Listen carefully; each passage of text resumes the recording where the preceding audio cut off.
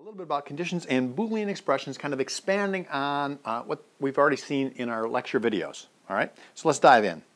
So the first thing I wanted to look at is look at a C example of what we're talking about. So first up, we include our libraries, our cs50.h and our standard, standard, standard io.h. These add some extra functions and variable types, data types, and we'll be talking a lot more about what all of that means as we progress through the course. But for now, we're just going to include those here because that'll allow us to do things like prompt the user to give us some input. And in this case, we're asking for an integer.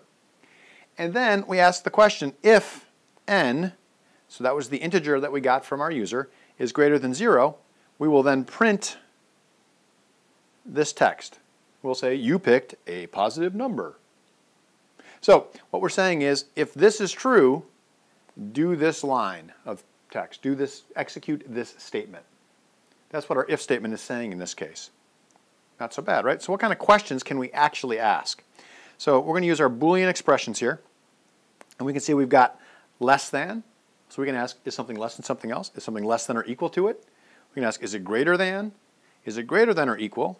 In this case, we have this double equal sign. We're saying, is this equal to that? All right. Now this bears a little bit of uh, explanation. So if I were to say, if, come on, if n equal 1, this will not actually ask the question, does n equal 1? Because a single equal sign tells us assign the value of 1 of our thing here. It's saying assign this value to n. That's what a single equal sign means in C and in most programming languages, not all. So if we want to ask does n equal 1, we would say n, we would say n equal equal 1, and that asks the question, does n equal 1? All right, so if we're going to try to ask a question, we need our double ampersand rather than a single, double ampersand, double equal sign rather than a single equal sign. Not so bad, right? And then our exclamation point equals means not equal. So if I wanted to ask, does n not equal 1, I would write n exclamation point equal 1. And that would mean, I would ask the question, does n not equal 1? Not so bad, right? All right, so let's progress on.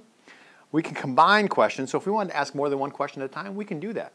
We can say, is this true? Is this true? Or is this true? So if either one of those statements is true, we will execute the code that's in our curly braces that follows our if statement. If either one of those, so if this is true or if this is true. Now this character right here is not a single character, it's actually two characters, um, and it's called a pipe. Now you can find the pipe on your keyboard, it's usually, I think it's shift backslash, but anyway, look around, you'll find it, it's going to be shift something that you never use.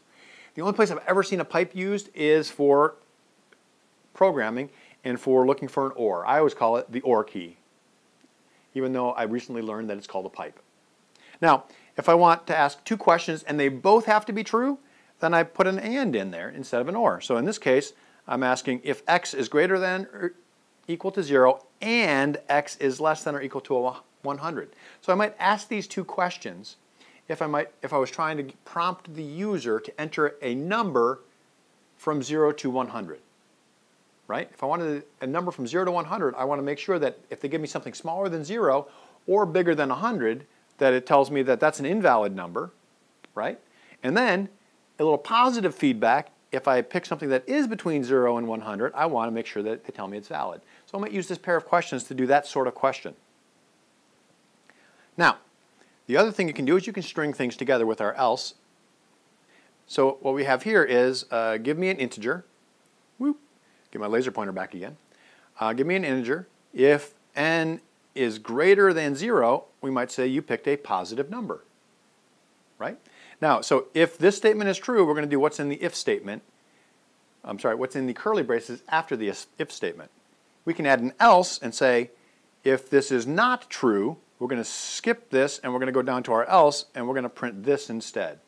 So if the user entered a, a number that was greater than 0, it would say you picked a positive number. If they entered a negative number, this statement would not be true, and we would jump down to here, and then we would say you picked a negative number. We can do a quick aside. What happens if, they, if the user put zero in? Would either of these statements work? What would happen? Hmm. If I put zero in, is zero greater than zero? Nope. So I would jump down here and I would print you picked a negative number. Is zero a negative number? I'm no math expert, but I don't think so. So this is what we would call an edge case. One of these cases where you hitting, you know, you're hitting a bug that's, you know, depending on the input you put in. And so you always want to look for these uh, weird things where if somebody puts in a weird result, that it can break your code. In this case, it means we've broken it a little bit, and that's okay. Um, we'll talk more about edge cases later.